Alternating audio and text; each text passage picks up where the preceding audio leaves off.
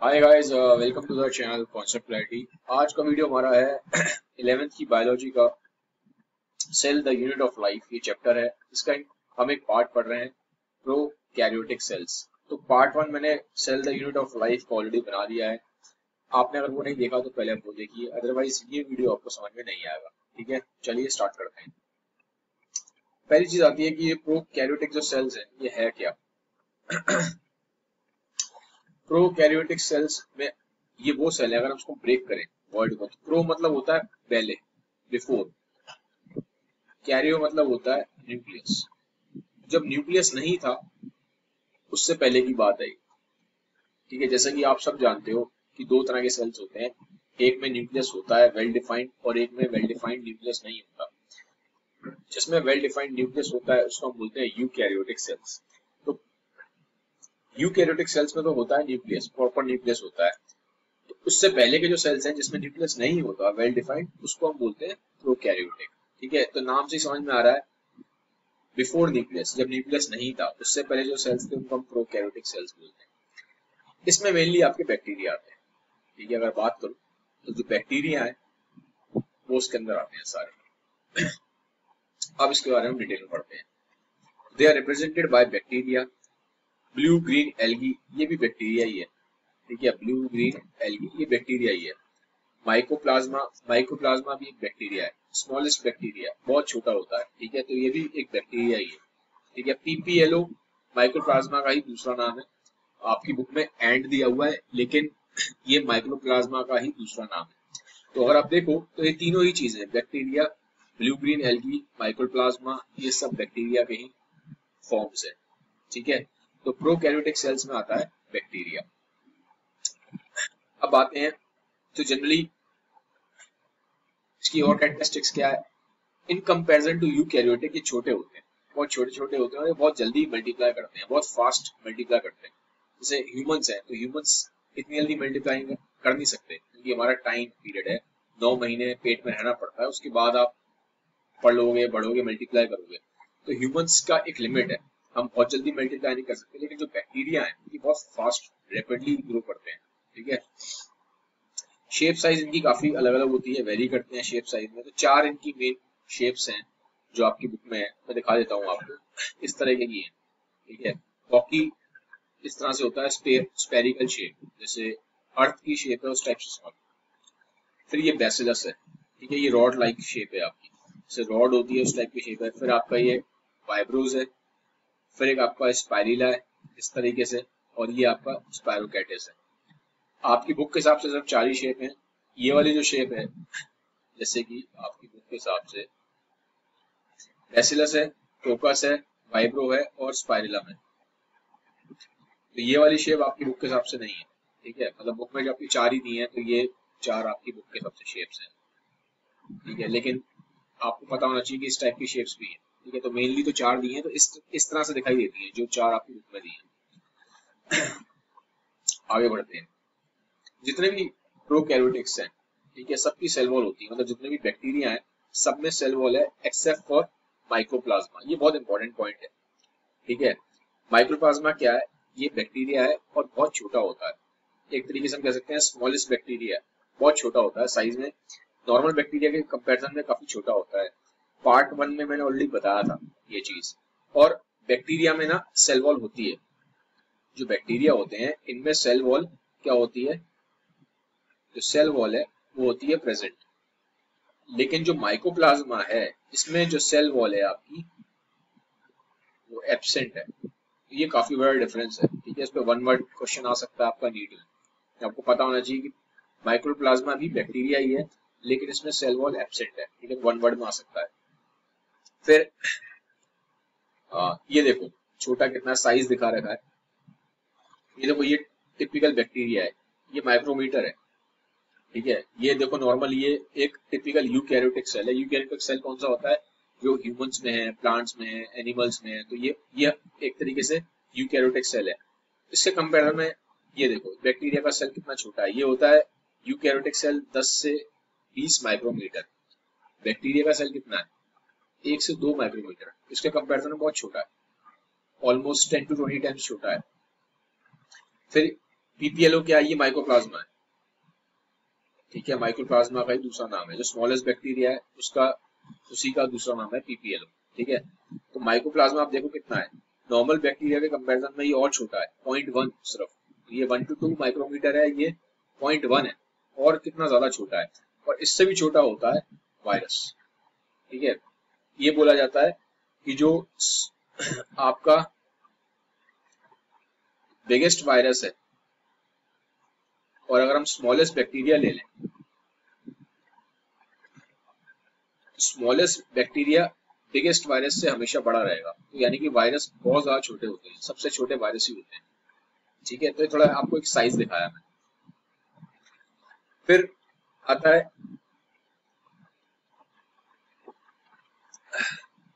In addition to genomic DNA, many bacteria have small circular DNA outside the genomic DNA. These smaller DNA are called plasmids. क्या मतलब है इसका? थोड़ा structure देखते हैं। ये देखो। बैक्टीरिया में जो डीएनए होता है ये इस तरह से होता है। ये बैक्टीरिया का डीएनए है। सर्कुलर होता है। कैसा होता है? आप देखो करली करली सा सर्कुलर शेप में है। इसको बोला जाता है न्यूक्लियोइड ठीक है? बैक्टीरिया के डीएनए को न्यूक्लियोइड बोलते हैं। लेकिन प्रॉपर न्यूक्लियस तो नहीं है इसके अंदर। इस तरह से पड़ा हुआ है ये डीएनए लेकिन कुछ डीएनए इसके बाहर भी मिलता है, जिसको हम बोलते हैं प्लाज्मिड ये रहा। उस पर क्वेश्चन बन सकता है कि बैक्टीरिया में जो डीएनए होता है, वो कहाँ कहाँ होता है? तो एक तो हो गया न्यूक्लियोइड आपका, जो सेंटर में जो मेन डीएनए कुछ आपका प्लाज्मिड में भी है। ठीक है? तो ये इंपॉर्टेंट है आपको पता होना चाहिए।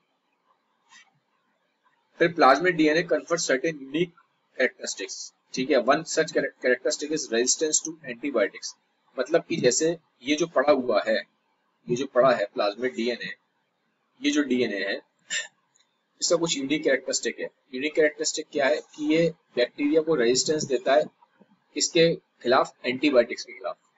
नॉर्मली जैसे कभी भी आपको कोई बीमारी होती है, जो बैक्टीरिया से कॉज होगी, उसका ट्रीटमेंट होता है एंटीबायोटिक्स डॉक्टर आपको एंटीबायोटिक देगा। ठीक है? लेकिन ये जो प्लाज्मेट है, ये बैक्टीरिया को मरना ही देता।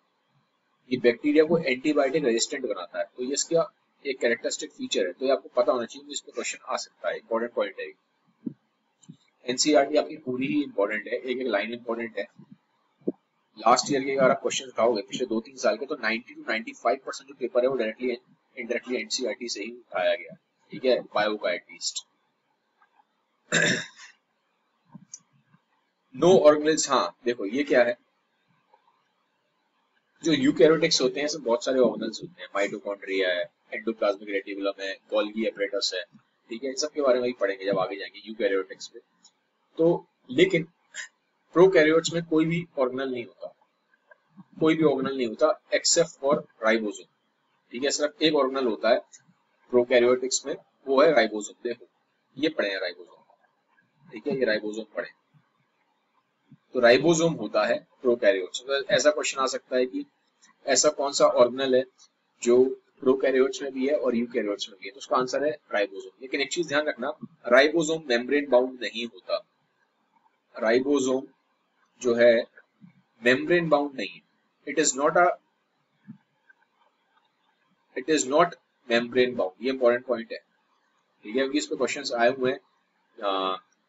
ऑर्गनल्स के नाम दिए थे, फिर पूछा था, कौन सा ऑर्गनल ऐसा है जो मेम्ब्रेन बाउंड नहीं है? तो आपको पता होना चाहिए राइबोसोम मेम्ब्रेन बाउंड नहीं है। मेम्ब्रेन मतलब उसके आउटर में जो कवरिंग होती है, वो नहीं होती इसमें। बाकी तो राइबोसोम के बारे में डिटेल में पढ़ेंगे आगे तो समझ में आएगा आपको क्या काम करते हैं। ठीक है तो ये हो गया। फिर कह रहा है specialise differentiated form of cell membrane called mesosome is the characteristic of prokaryotics ठीक है? अब क्या होता है? देखो मीजोसोम क्या है? जो सेल मेम्ब्रेन होती है, देखो एक्चुअल में बैक्टीरिया का इस तरीके से चलता है हिसाब किताब। अंदर होती है सेल मेम्ब्रेन ठीक है? तो हमारे में भी होती है ह्यूमंस में भी सेल मेम्ब्रेन होती है, ठीक है? सेल वॉल हमारे में नहीं होती, लेकिन बैक्टीरिया में और प्लांट में दोनों में सेल वॉल होती है। ये सेल वॉल उसके बाहर होता है इसका कैप्सूल इसके बाहर इसकी एक लेयर और भी होती है। इसको हम बोलते हैं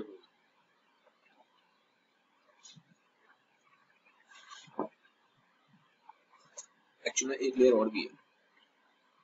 ये भी आप पढ़ोगे, तीनों मिला के मिलके बनाते हैं एनवलप ये है एक तरीके से आपकी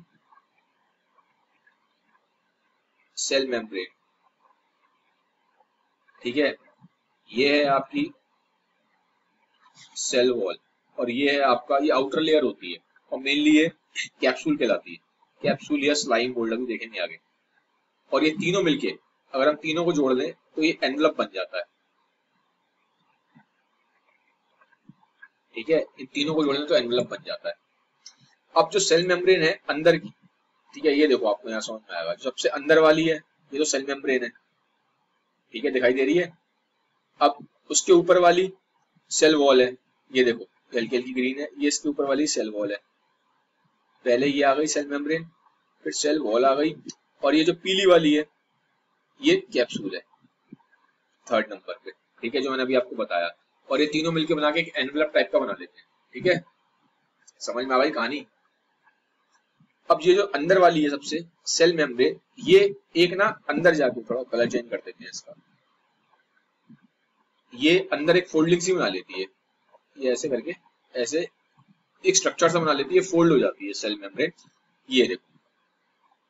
ये देख रहे हो सॉरी ये कलर मिल नहीं रहा यार, इसमें मैच सा हो गया, थोड़ा सा अलग कर देते हैं इस कलर को। ये देखो। ये देख रहे हो। सेल मेम्ब्रेन ऐसे फोल्ड सी हो गई है अंदर इस टाइप से। इसे बोलते हैं मीजोजोम क्या बोलते हैं मीजोजोम ये क्या काम करता है? इसका जो मेन फ़ंक्शन है वो है माइटोकॉन्ड्रिया वाला।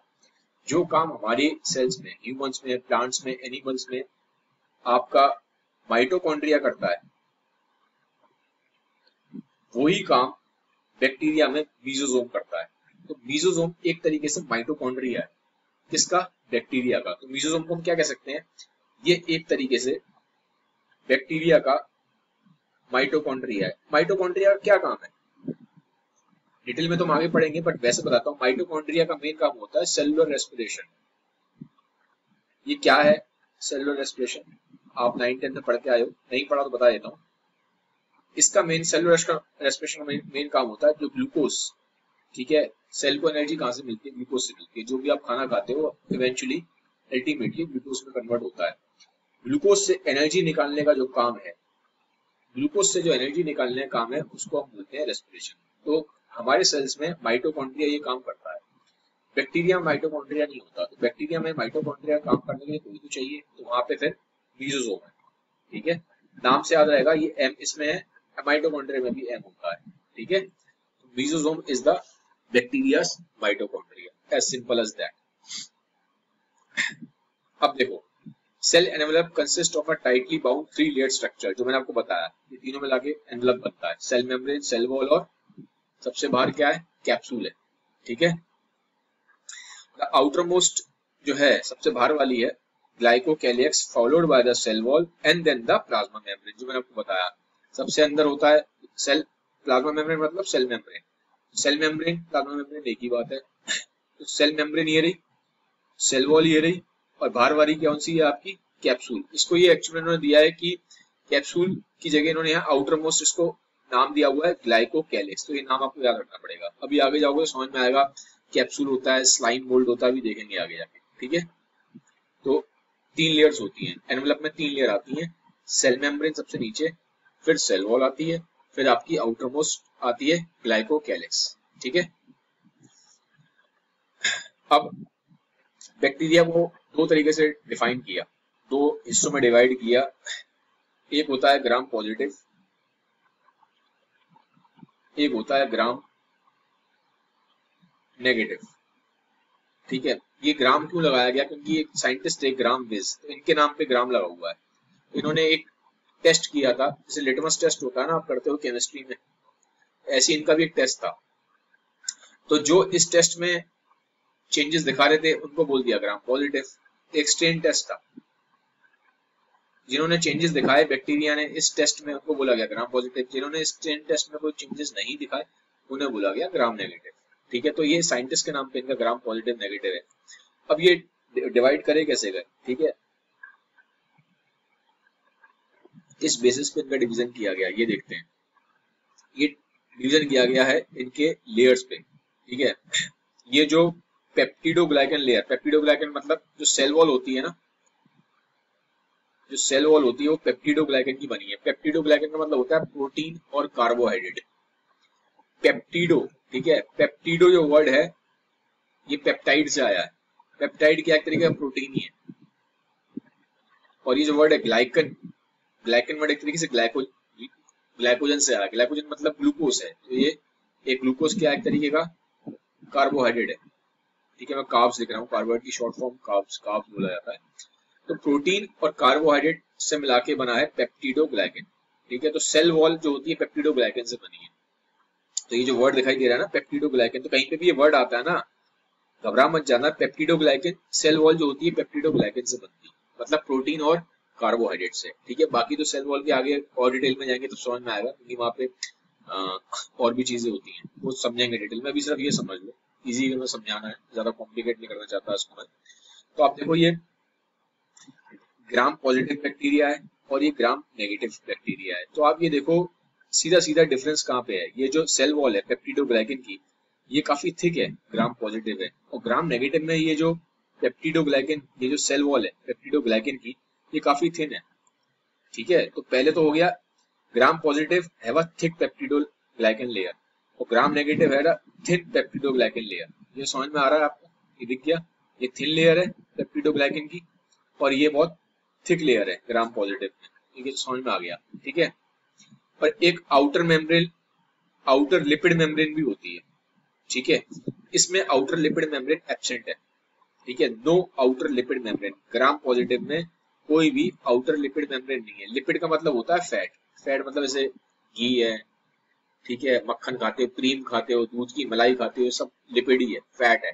तो साइंटिफिकली फैट को लिपिड बोला जाता है। इसमें फैट की मेम्ब्रेन एब्सेंट है, लेकिन इसमें आउटर लिपिड मेम्ब्रेन प्रेजेंट है, ठीक है? इसमें जो आउटर मेम्ब्रेन है लिपिड की प्रेजेंट है। ये देखो आप, ये रहा।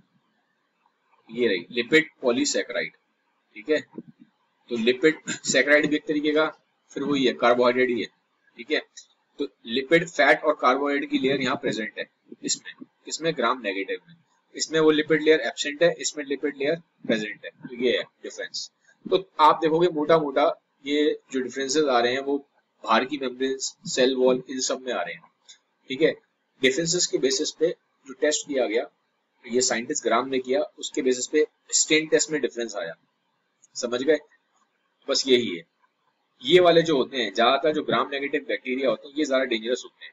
हमारे लिए ह्यूमंस के लिए ग्राम नेगेटिव जो बैक्टीरिया है, ये ज़्यादा डेंजरस है। अब फिर क्वेश्चन ये उठता है कि हमने ये टेस्ट करा के ऐसे ऐसे ही थोड़ा ना उसको कोई ज़बरदस्ती टेस्ट करा है। ग्राम साइंटिस्ट ने, इतना बड़ा साइंटिस्ट है, कुछ टेस्ट करा उसने, कोई रीजन हुआ टेस्ट करने का। रीजन ये होता है कि इनको स्टडी करने के बेसिस पे ही साइंटिस्ट एंटीबायोटिक्स बनाते हैं। जब बैक्टीरिया का स्ट्रक्चर पता होगा तभी तो समझ में आएगा कि उस पर कैसे हमें उसको, उससे लड़ना है। अगर आपको अपने दुश्मन से लड़ना है और अगर आप चाहते हो आपको दुश्मन से अपने जीतना है तो आपको अपने दुश्मन को समझना पड़ता है पहले। तभी तो अटैक करोगे उस पर समझोगे ना उसकी कितनी पावर है, कहाँ उसकी वीकनेस है, उस हिसाब से अटैक किया जाएगा। तो यही कहानी है। बैक्टीरिया ये जो है, कहीं बहुत सारे बैक्टीरिया हमारे दुश्मन है, ठीक है? तो अब जब बहुत सारे बैक्टीरिया हम पे अटैक करते हैं, हमारे दुश्मन है तो उनको समझने के लिए कि इन पे कौन सी दवाइयाँ काम करेंगी, उनके स्ट्रक्चर को समझना ज़रूरी होता है। इसीलिए फिर इनको डिवाइड करा गया दो हिस्सों में। Gram positive bacteria comparatively negative के कम डेंजरस होते हैं। ग्राम नेगेटिव जो बैक्टीरिया है, वो हमारे लिए ज़्यादा डेंजरस है के लिए। ठीक है? ये इसलिए करा गया था। फिर आगे आते हैं। मैंने बोला था कि जो बाहर वाली लेयर होती है, सबसे बाहर वाली, दोबारा वापस आ जाओ। ये देखो, ये हमने पढ़ा था। सबसे बाहर वाली क्या होती है? ग्लाइकोलेक्स अब ये ग्लाइकोलेक्स जो है, ये भी अलग अलग टाइप में होती है। ठीक है? जैसे कि ये जो ग्लाइकोलेक्स थी आउटर मोस्ट ये इस डायग्राम में क्या दिखाई गई है? कैप्सूल के फॉर्म में दिखाई गई है। कैप्सूल लिखा गया है। ये क्या है कैप्सूल एक तरह का ग्लाइकोप्लाइलेक्स ही आउटर मोस्ट लेयर है। ठीक है? तो ये जो ग्लाइकोकैलेक्स है, ये दो फॉर्म में आती है। ठीक है? कहीं में तो कैप्सूल के फॉर्म में है। ये देखो, ये रही। और कहीं में ये स्लाइम लेयर के फॉर्म में ठीक है? तो कहीं पे ये कैप्सूल के फॉर्म में है। कैप्सूल के फॉर्म में जब है तो काफ़ी थिक है, मोटी है। ठीक है? और कहीं ये स्लाइम लेयर के फॉर्म में तो ये इस पे क्वेश्चन आ सकता है जो ग्लाइकोलेक्स है, जो आउटर मोस्ट लेयर होती है बैक्टीरिया में जो आउटर मोस्ट लेयर है, जिसको ग्लाइकोकैलिक्स बोला जाता है, ये किस फॉर्म में आती है? दो फॉर्म में आती है। पहली फॉर्म कैप्सूल है, जो कि काफ़ी थिक होती है, मोटी होती है, दूसरी है स्लाइम लेयर ठीक है, जो कंपेरेटिवली लूज है, ठीक है तो उस पर वन वर्ड क्वेश्चन आ सकता है, पता होना चाहिए आपको ग्लाइकोलेक्स कितने टाइप की है। फिर सेल वॉल की बात करते हैं। सेल वॉल देखो मेनली अगर आपने नाइन टेंथ में पढ़ा है तो सेल वॉल प्लांट्स को क्या देती है? एक रिजिडिटी देती है, ठीक है? और एक स्ट्रक्चरल सपोर्ट देती है सेल वॉल और सेल में प्लांट सेल में जब पानी भरता है ना, अंदर ऑस्मोसिस होता है जब प्लांट सेल जब भरता है पानी से तो सेल वॉल उसको बचाती है कि वो सेल फट ना जाए। यही काम बैक्टीरिया में भी कर रही है। सेल वॉल उसको बचा रही है बैक्टीरिया को बर्स्ट होने से, फटने से और कोलैप्स कर जाने से, ठीक है? फिर जो सेल में, ये तो हमने पढ़ा सेल वॉल के बारे में। जो प्लाज्मा मेम्ब्रेन है, वो क्या है? सेमी परमिएबल सेमी परमिएबल का मतलब होता है कि कुछ चीज़ों को तो अंदर आने देगा, लेकिन सबको अंदर नहीं आने देगा। एक पहले समझ लो एक तरीके का चौकीदार है।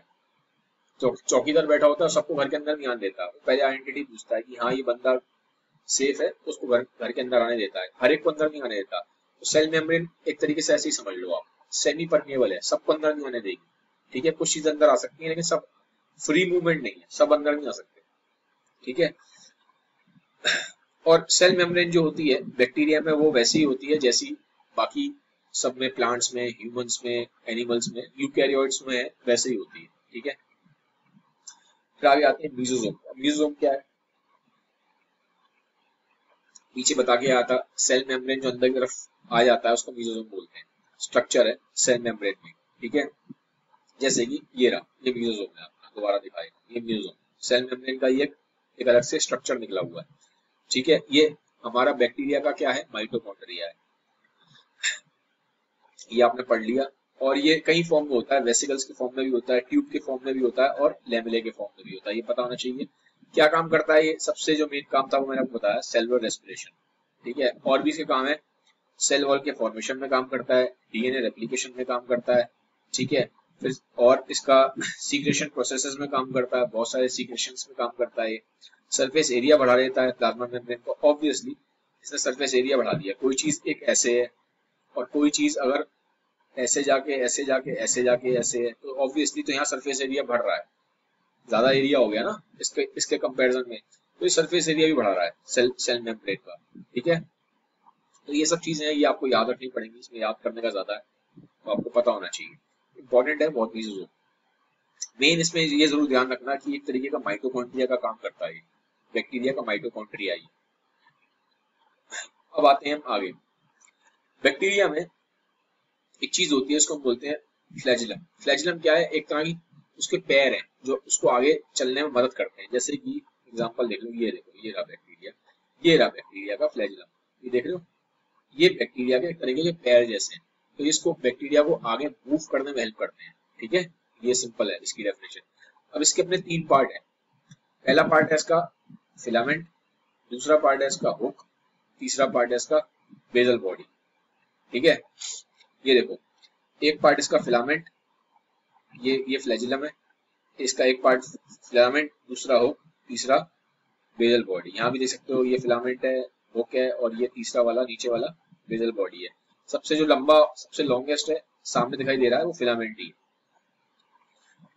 तो ये है आप थोड़ा पता होना चाहिए, तीन पार्ट्स में डिवाइड है फ्लैजिलम अब इसके अलावा बैक्टीरिया में और भी चीज़ें हैं, दो प्रेजेंट वो है पिलाए और फेम्ब्रे ठीक है?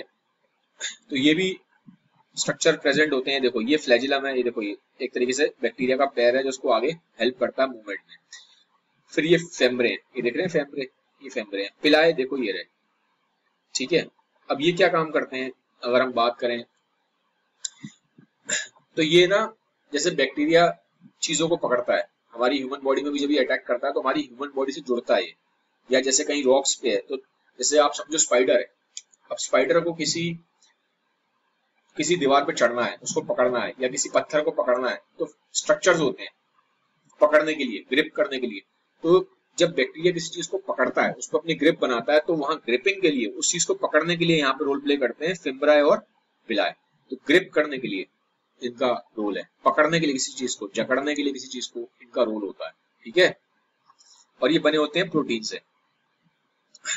अब इन दोनों में डिफरेंस क्या है? फिम्ब्राए और पिलाए में तो आप देख सकते हो। फिम्ब्राए जो है, वो कंपेरेटिवली इससे छोटे हैं पिलाए से। ये देखो पिलाए है काफ़ी लंबा है फिम्ब्राए के कंपेरिजन में। बट ये ज़्यादा नहीं है नंबर में। ये कम है और फिम्ब्राए नंबर वाइज काफ़ी ज़्यादा है, लेकिन साइज़ में छोटे हैं ठीक है? तो pili typically longer and fewer in number than fimbriae तो ये इंपॉर्टेंट है, ठीक है? क्या काम करते हैं? It helps the bacteria to stick to the surfaces but एक चीज़ ध्यान रखना, ये मूवमेंट में हेल्प नहीं करते, ठीक है? तो ये बहुत इंपॉर्टेंट पॉइंट है, जिस पर क्वेश्चन आया हुआ है, ठीक है? पिलाई एंड फेमिलिया और also surface structure of the bacteria but do not play a role in motility मतलब मूवमेंट में। तो इनका, दोनों का मूवमेंट में कोई रोल नहीं है। मूवमेंट में रोल खाली ये करता है फ्लैजिलम ठीक है? ये बैक्टीरिया के पैर की तरह मूवमेंट में हेल्प करता है बैक्टीरिया अब आ जाते हैं राइबोसोम्स पे। राइबोसोम्स क्या करते हैं? मेनली सेल में इसमें बैक्टीरिया में राइबोसोम्स होते हैं। ठीक है? मेम्ब्रेन नहीं होती। ठीक है इनकी? और ये मेन काम करते हैं प्रोटीन बनाने में। प्रोटीन सिंथेसिस में इनका काफ़ी रोल है। प्रोटीन को बनाने में रोल प्ले करते हैं। अब प्रोटीन का यूज़ क्या होता है? देखो यार, क्या होता है? सिंपल एक कहानी होती है जो तो आपके हर जगह चल रही है दुनिया में। जितनी भी लिविंग चीज़ें उनमें सब में कहानी चलती है। डीएनए से बनता है आरएनए आरएनए से बनता है प्रोटीन अब प्रोटीन ज़रूरी क्यों है? क्योंकि आपके सेल में दुनिया भर की रिएक्शन हो रही है। जो सेल होता है, उसमें बहुत सारी रिएक्शन चलती हैं। अब वो जो रिएक्शन चलती हैं, उन रिएक्शन को चलने के लिए चाहिए होता है एंजाइम ठीक है? एंजाइम एक एज अ कैटलिस्ट काम करता है उस रिएक्शन को तेज कर देता है। एंजाइम क्या है? एंजाइम एक प्रोटीन है। तो बिना प्रोटीन के, बिना एंजाइम्स के जो हमारे सेल्स में बहुत सारी रिएक्शंस हो रही है केमिकल रिएक्शंस है, वो हो नहीं पाएँगे। ठीक है? तो प्रोटीन क्यों इंपॉर्टेंट है? क्योंकि हमारे सेल के अंदर बहुत सारी केमिकल रिएक्शंस हो रही हैं। उन केमिकल रिएक्शंस को करने के लिए आपको प्रोटीन चाहिए। एंजाइम चाहिए जो कि प्रोटीन है। अब, वो रिएक्शंस के बेसिस पे ही मालूम पड़ता है कि अब इस सेल को क्या करना है? इसका क्या काम है? इसे क्या बनना है? ये सेल क्या बनेगा? ठीक है? तो ये सब वहीं से डिसाइड होता है। ठीक है? तो इसलिए नट शेल में राइबोसोम्स का काम है प्रोटीन बनाना और प्रोटीन आपके लिए बहुत ज़रूरी है। ये बने होते हैं दो सब यूनिट से, जिसको बोलते हैं फिफ्टी एस और थर्टी एस ठीक है? और टुगेदर अगर हम देखें तो राइबोसोम में सेवेंटी एस प्रेजेंट होता है। ये बहुत इंपॉर्टेंट है। ये कई बार आ चुका है क्वेश्चन आपका कि राइबोसोम्स में जो यूनिट्स है वो कितनी है? सेवेंटी एस है। ठीक है? सेवेंटी एस है याद रखना। आप सोचोगे फिफ्टी और थर्टी मिला के एट्टी होता है। सेवेंटी क्यों है? ये आपको याद करना पड़ेगा। ठीक है? क्योंकि ये यहाँ पे डायरेक्टली अर्थमेटिक आप लगा नहीं सकते कि फिफ्टी है और थर्टी है तो सेवेंटी क्यों गया? ये ऐसे ही है। ठीक है? स्ट्रक्चर है उसका राइबोसोम मैंने बता दिया प्रोटीन बनाते हैं। अब एक चीज़ और है कि बहुत सारे राइबोसोम क्या करते हैं? एम से अटैच हो जाते हैं। मैसेंजर आरएनए होता है। ठीक है? और क्या बना लेते हैं ये? पॉली राइबोसोम बहुत सारे बन जाते हैं। देखो ये अब समझ में आएगा। ये देखो। ये राइबोसोम्स है। ये आपका एम आर एन है। ठीक है क्या हो गया? मान लो डीएनए डीएनए से बन गया आर एन ठीक है, आप समझ लो यहाँ एम आर एन बन अब ये जो एम आर एन इस पे बहुत सारे क्या होंगे? बहुत सारे राइबोसोम अटैक हो जाएँगे। ये ऐसे है। इस पे क्या होगा? बहुत सारे राइबोसोम्स अटैच हो जाएँगे। जैसे कि मान लो ऐसे अटैच हो गए ऐसे ठीक है, ये देखो। और ये क्या बना लेंगे? फाइनली फिर बना लेंगे प्रोटीन प्रोटीन तो बनता है राइबोसोम से। इस तरीके से ये देखो, ये एम आर एन ए नीला वाला जो दिखाई दे रहा है, ऐसे लाइन सी ये आपका एम आर एन ए इस पर ये ब्राउन ब्राउन अटैच हो गए बहुत सारे राइबोसोम अटैच हो। गए अब यहाँ से देखो आप प्रोटीन बनना स्टार्ट हो रहा है। ये प्रोटीन बना, फिर ऐसे प्रोटीन बना, फिर ऐसे बना। यहाँ आते आते ये पूरा प्रोटीन बन गया और ये बन के निकल रहा है। ठीक है? तो इस तरीके से। तो ये जो बहुत सारे प्रोटीन अटैच हुए हैं, इस पे, इस तरफ़ एक मैंने दिखाया आपको, ठीक है? अभी इसको मत जाना कि यहाँ पे फोर्टी एस लिखा है सिक्सटी एस लिखा है, सब भूल जाओ। सब एक आइडिया दे रहा हूँ आपको इस तरह से काम चलता है, ठीक है? तो ये बहुत सारे जो, कई सारे राइबोसोम अटैच हो गए इन्हें पॉली राइबोसोम्स बोला जाता है, ठीक है? ये रहा जो आपको अटैच किस पे हुए थे? एम आर एन ए पे अटैच हुए। क्या बन गए पॉलीराइबोसोम इसको पॉलीराइबोसोम को पॉलीसोम भी बोला जाता है, दोनों एक ही बात, ठीक है? क्या करते हैं? राइबोसोम्स ऑफ़ अ पॉलीजोम ठीक है? इसमें जो राइबोसोम्स है, क्या करते हैं? एमआरएनए को प्रोटीन बना रहे हैं, जो भी मैंने आपको दिखाया। ये राइबोसोम क्या कर रहे हैं? एमआरएनए में लग के प्रोटीन ही तो बना रहे हैं। वही सिंपल है सिंपल एज दैट अब आता है इंक्लूजन बॉडीज देखो क्या होता है? हमारी बॉडी में बैक्टीरिया है। अब बैक्टीरिया बहुत बार ऐसा हो सकता है, यार, हम लोग तो खाना अपना स्टोर कर लेते हैं इमरजेंसी के लिए। मान लो बाढ़ आ जाए अर्थक्वेक आ जाए तो हमारे पास तो खाना स्टोर रहता है, घर में आपके दाल है रोटी है स्टोर है, चावल है, आपने स्टोर कर रखा है। अब बैक्टीरिया के पास मान लो कुछ इमरजेंसी आ जाए और उसको जो चीज़ें चाहिए ज़िंदा रहने के लिए, खाना चाहिए, जो भी चीज़ चाहिए, मान लो अवेलेबल ना हो तो ये भी तो अपना कुछ मटेरियल रिज़र्व में रखेगा। तो जो मटेरियल ये अपना रिज़र्व में रखता है, ठीक है, कहीं ना कहीं स्टोर भी होगा तो वो जो स्टोर करने का काम है, इसका वो इंक्लूजन बॉडीज है। तो ये जो रिज़र्व मटेरियल है बैक्टीरिया में जो स्टोर होता है, वो कहाँ होता है? इंक्लूजन बॉडीज में। तो आपके क्वेश्चन ये आ सकता है कि बैक्टीरिया में जो रिज़र्व मटेरियल है, वो कहाँ स्टोर होता है? तो आएगा इंक्लूजन बॉडीज जैसे हमारे घर में स्टोर होता है, वहाँ चीज़ हम स्टोर करते हैं। कैसे समझ लो, ये बैक्टीरिया का स्टोर है। वहाँ पे रिज़र्व मटेरियल स्टोर होता है, जहाँ जो इमरजेंसी में बैक्टीरिया यूज़ कर सकता है, ठीक है? और इसमें कोई मेम्ब्रेन नहीं होती, ये साइटोप्लाज्म में फ्रीली पड़े होते हैं। जैसे देख लो, ये रहा इंक्लूजन देख रहे हो? साइटोप्लाज्म में, पूरा साइटोप्लाज्म ही तो है, इसमें फ्रीली पड़े हुए हैं। ये रहा इंक्लूजन ये रहा इंक्लूजन ठीक है? तो ये सारे इंक्लूजन पड़े हैं। ये देखो, इस तरह से समझ सकते हो आप। इंक्लूजन पड़ा हुआ है। ठीक है? तो इसमें रिज़र्व मटेरियल स्टोर हो जाता है बैक्टीरिया का। और एग्ज़ाम्पल दिए हुए इसके।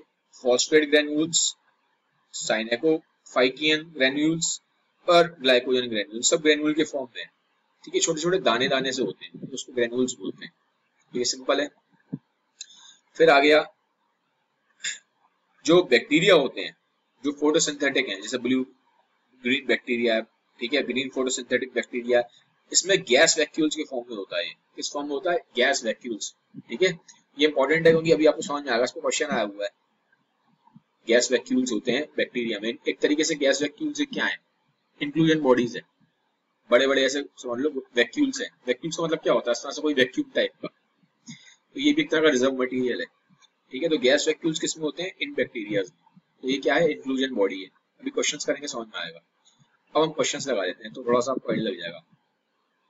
Which structure perform the function of mitochondria and bacteria ठीक है, अब आप मुझे इसका क्वेश्चन का आंसर बताइएगा, इस वाले क्वेश्चन का कमेंट सेक्शन में, क्योंकि मैंने बहुत बार बता दिया इस पूरे वीडियो में इसका आंसर क्या होना चाहिए। नीट 2015 का क्वेश्चन है ये। बहुत इजी क्वेश्चन है, अगर आपने सुना है, जो मैंने आपको पीछे बताया तो आप इस क्वेश्चन को अटेम्प्ट कर लोगे। ठीक है? बाकी अब मैं करा देता हूँ आपको। इसका आंसर आप मुझे कमेंट सेक्शन में दीजिएगा। ठीक है? Motile bacteria are able to move by flagella pili और सीलिया और फिम्ब्राई इससे नहीं करता ये मैंने बताया था ना फिम्ब्राई और पिलाई मूवमेंट में हेल्प नहीं करते। मूवमेंट में हेल्प सिर्फ़ फ्लैजिला करता है। ठीक है? तो इसलिए इंपॉर्टेंट था जो आपको बता रहा था। नीट का क्वेश्चन है ये। फिर which one of the following structure is an organelle within an organelle organelle के अंदर ही ऑर्गनली और स्ट्रक्चर है। ऐसा कौन सा स्ट्रक्चर है? ठीक है? देखो इसका आंसर है राइबोसोम। क्यों है इसका आंसर देखो? जो राइबोसोम्स होते हैं ना, ये बॉडी में, ये आपके सेल में दो तरीके से प्रेजेंट होते हैं। एक तो होते हैं फ्री राइबोसोम और दूसरे होते हैं जो एंडोप्लाज्मिक रेटिकुलम से अटैच होते हैं। अब देखो कैसे होते हैं, देखो। ये ये एंडोप्लाज्मिक रेटिकुलम है पूरा। अब इसके बारे में पढ़ेंगे, आगे जब नेक्स्ट वीडियोस पढ़ेंगे। तो ये एंडोप्लाज्मिक रेटिकुलम है, ये पूरा लाल लाल दिखाई दे रहा है, ये पूरा ये पूरा आपका एंडोप्लाज्मिक रेटिकुलम है। ई e लिखा ठीक है? दैट मीन्स एंडोप्लाज्मिक रेटिकुलम अब इस पे आप देखेंगे, मैं इसका कलर चेंज करूँ। ये दाने दाने से देख रहे हो आप? ये दाने दाने से। ये सब क्या है दाने दाने से? ये राइबोसोम्स हैं। तो अब एंडोप्लाज्मिक रेटिकुलम अपने आप में क्या है? एक ऑर्गनल ही तो है। ये ऑर्गनल है। और राइबोसोम क्या है? ये भी एक ऑर्गनल है। तो इसीलिए इसको बोला जाता है organelle with in an organelle क्योंकि एंडोप्लाज्मिक रेटिकुलम के ऊपर एक चिपका होता है। जैसे हमारे स्किन पे एक्ने हो जाते हैं ना पिंपल्स टाइप के, वैसे ही समझ लो उसको। एंडोप्लाज्मिक रेटिकुलम पे ये रफ एंडोप्लाज्मिक रेटिकुलम बोला जाता है, उस पर चिपका हुआ है तो इसीलिए राइबोसोम को बोला जाता है organelle with in an organelle ये इंपॉर्टेंट था, ये मैंने आपको बता दिया। अब आगे आते हैं। What is true about ribosomes ribosomes के बारे में क्या ट्रू है? ठीक है। The prokaryotic ribosomes are 80s where S stands for sedimentation coefficient ये गलत है, क्योंकि प्रोकैरियोटिक राइबोसोम्स क्या है? 70s ये भी पीछे बता के आया हूँ, इसीलिए इंपॉर्टेंट था, मैं आपको बोल रहा था। सेवेंटी ऐसा तो ये ऑप्शन तो गलत हो गया। These are compose of ribonucleic acid and proteins ठीक है, ये बिल्कुल ठीक है। These are found only in eukaryotic cells ये गलत है। क्योंकि ऐसा नहीं, खाली यूकैरियोटिक में मिलते हैं राइबोसोम में पता है कि प्रोकैरियोटिक्स में भी मिलते हैं, जो भी पढ़ के आ रहे हैं पीछे। बैक्टीरिया में भी तो होता है राइबोसोम ये आंसर गलत हो गया। ठीक है? These are self splicing introns of some RNA इसको हम छोड़ देंगे। अभी इसके बारे में ज़्यादा पढ़ा नहीं है। लेकिन ये गलत है क्योंकि ये आंसर सही हो चुका है। ठीक है? ये आंसर है इसका। फिर कह रहा है सिलेक्ट द मिसमैच मिसमैच बताना आपको, कौन सा मिसमैच है? देखते हैं। गैस वैक्यूल्स ग्रीन बैक्टीरिया देखा अभी पीछे पढ़ा के आया हूँ मैं आपको। वैक्यूल्स होते हैं बैक्टीरिया में पीछे पढ़ा दिया आपने, जब हम पढ़ रहे थे। क्या पढ़ा आपने इंक्लूजन बॉडीज पढ़ा था इंक्लूजन बॉडीज में वैक्यूल्स आ रहा था, ये देखो मैं दिखा देता हूँ। ये पढ़ा था ना? गैस वैक्यूल्स कहाँ थे? ग्रीन बैक्टीरिया इसलिए इंपॉर्टेंट था, ये जो बता रहा था पॉइंट वहाँ ये आप, आया हुआ है। अगर आपने ध्यान से पढ़ी एनसीआरटी तो आप कर लोगे। ठीक है तो ये मिसमैच तो नहीं है। ठीक है, ये this is right large central vacuoles animal cells ये गलत है। एनिमल सेल्स में छोटे होते हैं vacuoles large central vacuoles plant cells में होते हैं। ठीक है? ठीक है तो मिसमैच आपको सिलेक्ट करना है। तो फिर ये आंसर हो गया। क्योंकि इसका आंसर यहाँ प्लांट सेल्स है। ये गलत दिया हुआ है। ठीक है तो यही सही आंसर है। प्रोटेस्ट का यूकैरियोट्स ये ठीक है। क्योंकि प्रोटेस्ट यूकैरियोटिक्स होते हैं। ये एक्चुअली क्या देखो सीधा क्वेश्चन इसी का नहीं है। अगर आपने पहले जो बायोलॉजिकल क्लासिफिकेशन है, अगर आपने ठीक से पढ़ा है प्रोटेस्ट क्या होते हैं? रॉबर्ट पिटेकर ने पाँच लिविंग किंगडम्स में डिवाइड किया था। जितनी भी ज़िंदा चीज़ें हैं। बैक्टीरिया प्रोटेस्ट फंगाई प्लांट और एनिमल तो जो प्रोटेस्ट है वो यूकैरियोट्स हैं। प्रोटेस्ट में प्रॉपर वेल डिफाइंड न्यूक्लियस होता है। तो ये भी ठीक है। ठीक है दिस इज़ राइट और मिथेनोजेंस क्या है? प्रोकैरियोट्स ये ठीक है। क्योंकि बहुत सारे बैक्टीरिया ऐसे हैं जो मीथेन प्रोड्यूस करते हैं। अगर आपने वो वाला चैप्टर ठीक से लगाया बायोलॉजिकल क्लासिफिकेशन तो आपको पता है कि दिस इज़ ऑल्सो राइट ठीक है तो गलत स्टेटमेंट कौन सा है? ये वाला स्टेटमेंट गलत है। ये मिसमैच है। सेकंड वाला स्टेटमेंट मिसमैच है। तो आंसर क्या हो गया? ये। ठीक है? अब क्या है इसमें? Select the wrong statement bacterial cell wall is made of peptidoglycan ये मैंने आपको बता दिया। सेल वॉल पेप्टिडोग्लाइकन की बनी है तो ये ठीक है। Pili and Fembri are mainly involved in the motility of bacterial cells. ये गलत है। ये इन्वॉल्व नहीं होते मोटिलिटी ऑफ़ बैक्टीरियल सेल्स में। ये किसमें इन्वॉल्व है? ये तो ग्रिपिंग करने में इन्वॉल्व होते हैं होल्ड करने में। इसमें कौन इन्वॉल्व है? इसमें तो फ्लैजिला इन्वॉल्व है। ठीक है सिलेक्ट करना है आपको रॉन्ग स्टेटमेंट तो यही है रॉन्ग स्टेटमेंट रॉन्ग स्टेटमेंट आपका यही है। This is the wrong statement ठीक है? तो ये आपको सिलेक्ट करना था। ये रॉन्ग स्टेटमेंट है। अब क्या करना है आपको? आगे बढ़ते हैं।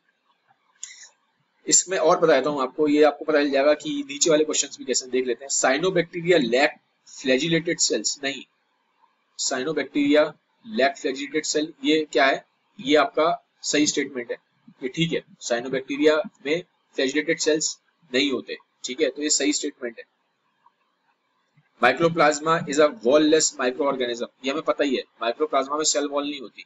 अभी पीछे पढ़ा के आया हूँ ना माइक्रोप्लाज्मा भी एक बैक्टीरिया है बट इसमें सेल वॉल नहीं होती। तो ये करेक्ट स्टेटमेंट भी क्या? ये करेक्ट है। Mycoplasma is a wallless micro organism this is a correct statement तो गलत स्टेटमेंट कौन सी है? सिर्फ़ ये वाली गलत स्टेटमेंट है।